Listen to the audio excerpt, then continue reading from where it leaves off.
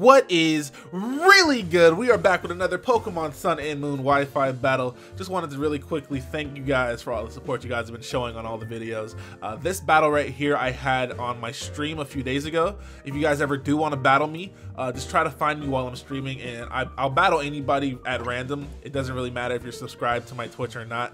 Uh, if you type in the chat saying that you want to battle and post your friend code, there's always a chance that I might add you. So if you ever do want to battle, you can give that a try. Uh, but anyways, we're going to hop right into this battle. My man is going to lead off with his Greninja, and I'm going to lead off with my Golisopod. Now, I have two options here. It's either going to be Spikes or First Impression for me.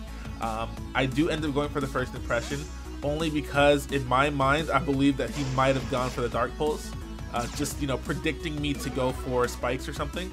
Um, so I just stayed in and went for the first impression, which was not the best move because he switches out to this Arcanine and the first impression pretty much does nothing to it. Uh, but I do have the red card, so if he did decide to go for the Dark Pulse, he actually would have gotten switched out anyways. Um, so I definitely should have gone for the spikes there.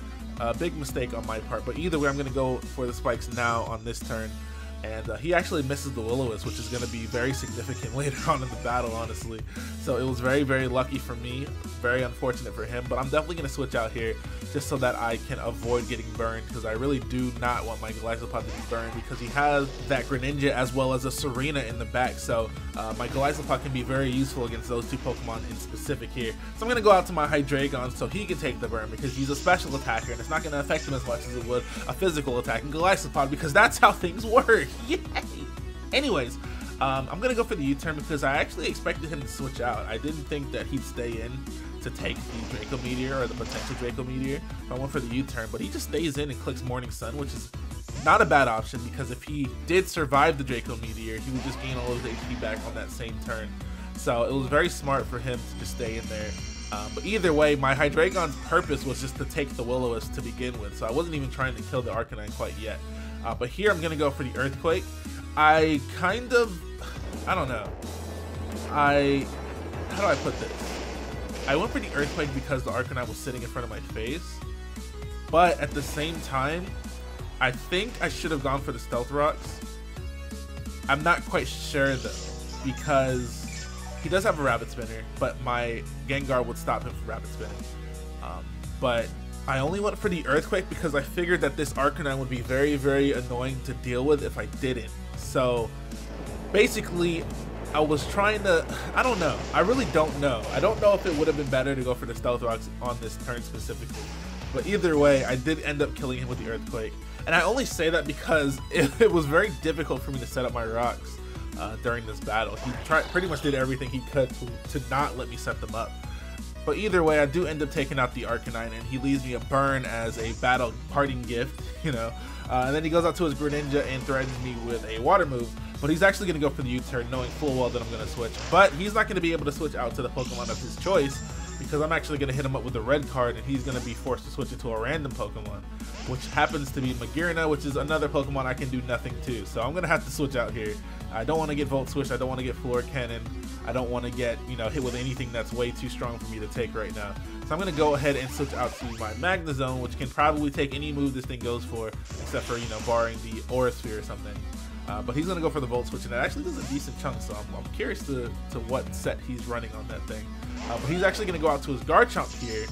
I'm not to switch because I feel like a switch is extremely obvious. So I'm to take whatever move he decides to go for that's not to be Earthquake because I know he's not to go for the Earthquake because I know that the Earthquake is too obvious. So he goes for the Dragon Claws. I stay in and hit him with a Choice Specs Flash Cannon. Look how much he lives with. What is that? That's like a pixel of HP, man. Just die.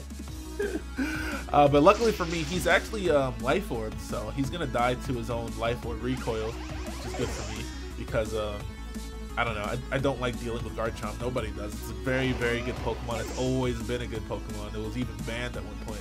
Um, so yeah, I was very lucky to actually end up taking out his Garchomp uh, some way, somehow.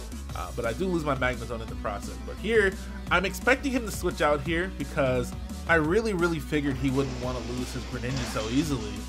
But he stays in, to my surprise. I don't know if he thought I wasn't Scarf I don't know if he didn't care to lose his Greninja. I don't know if he predicted the U-turn. But either way, I was really, really surprised that he decided to stay in. Um, but I'm going to U-turn out to my Golisopod.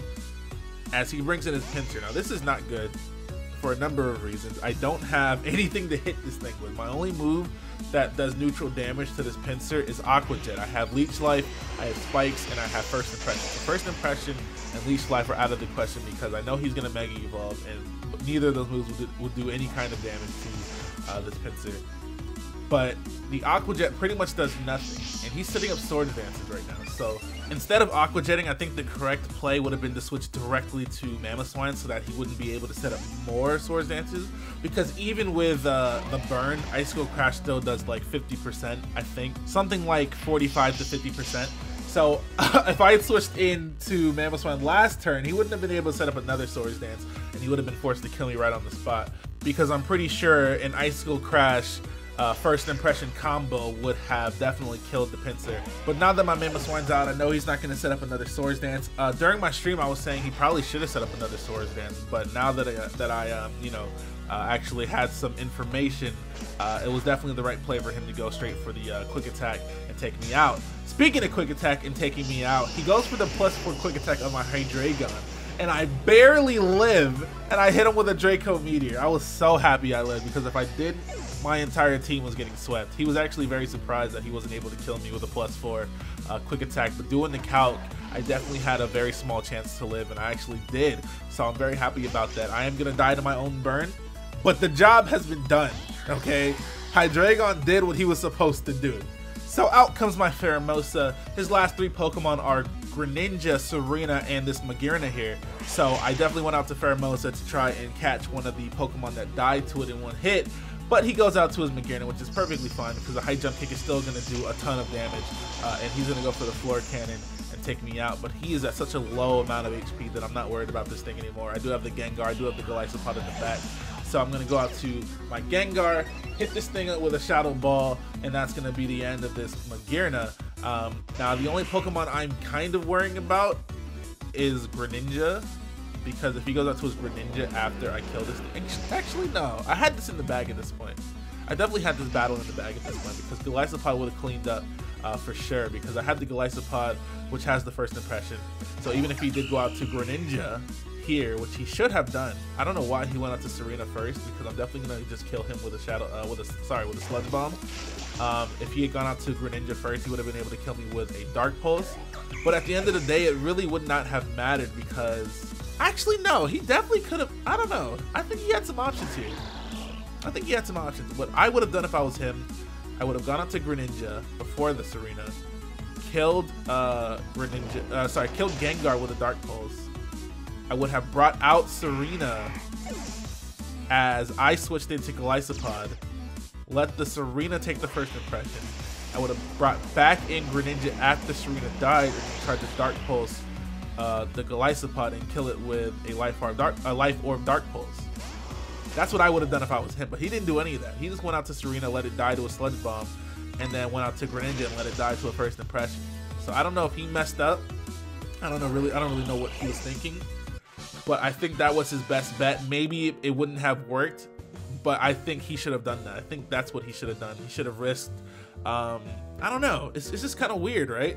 He didn't even have a chance because he went to Tsareena first.